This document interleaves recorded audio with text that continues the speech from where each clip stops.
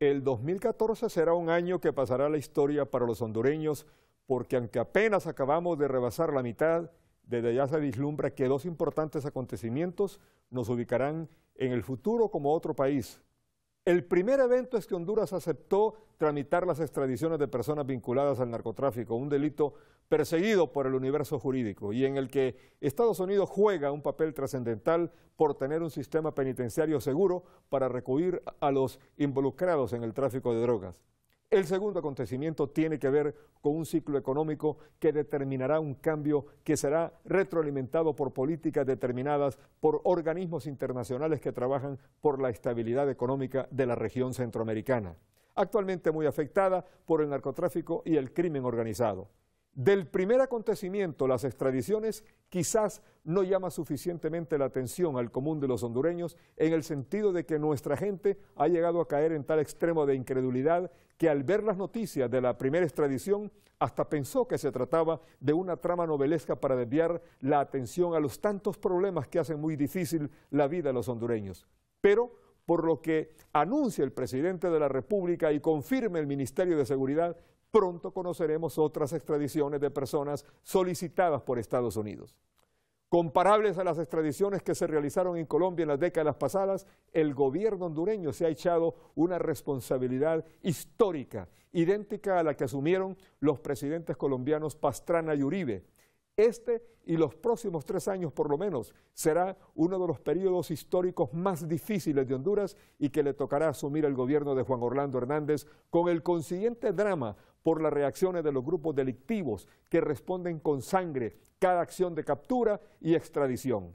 El asunto es que al haber asumido el gobierno esta responsabilidad contrae riesgos enormes porque se trata de confrontar a organizaciones delictivas con una gran capacidad de respuesta. La relación del gobierno hondureño con el Comando Sur de Estados Unidos es de un vínculo estrecho para enfrentar al crimen organizado con un aparato y una maquinaria capaz de superar las confrontaciones con los grupos delictivos.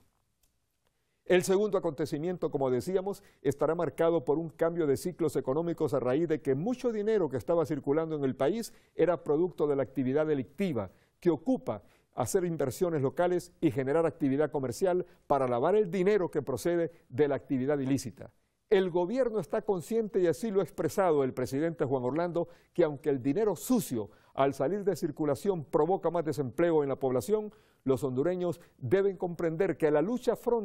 eh, que que se afronta contra el crimen, contra el narcotráfico, no admite concesiones de ninguna clase. Entonces, lo que parecía un fecundo periodo económico sostenido por el dinero de ciertos negocios que evidentemente no pertenecían al comercio normal, desaparecerá por completo con la consecuencia de ver más gente desempleada en el país. La pregunta es, ¿cuándo culminará esta recesión especial que sufre la economía hondureña con la salida del dinero sucio de las actividades comerciales? Si una economía pequeña como la de Honduras, donde la producción es insignificante y las exportaciones se han reducido porque los productos exportables son muy limitados, no recibe una inyección importante en materia de inversión, el país seguirá descansando en las remesas que envían los hondureños desde Estados Unidos. Honduras no tiene una presencia significativa en los mercados internacionales.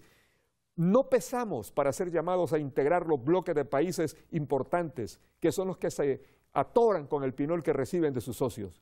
Para que Honduras tenga una clara recuperación dentro de lo que somos, el gobierno debe dar pasos significativos, importantes, que nos anuncien que aunque somos un país pequeño, somos capaces de dar grandes pasos para aspirar a un crecimiento económico. Para eso hay que crecer primero en intenciones. Para que Nicaragua construya su cacareado canal, que parece ser más hojas que tamal, requerirá de por lo menos 20 años. Si es que consigue inversionistas serios que quieran meterse a esa obra, a esa obra gigantesca. En cambio, a Honduras solo le tomaría unos tres años construir el puente para unir a Mapala con tierra firme, para conectarse al canal seco y convertirse después del canal de Panamá en la segunda conexión efectiva del Pacífico al Atlántico. Esa decisión debe tomarse este año y debe buscarse el socio inversionista que puede ser un, un, organismo internacional, puede ser Estados Unidos o cualquier consorcio internacional. Si se da el paso de unir a Mapala con tierra firme, en Honduras el cambio económico se verá reforzado y retroalimentado por el comercio que produce el Asia, que es uno de los más dinámicos del mundo.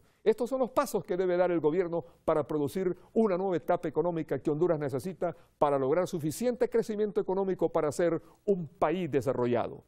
Así son las cosas y así se las hemos contado hoy viernes 8 de agosto del 2014. Buenas noches.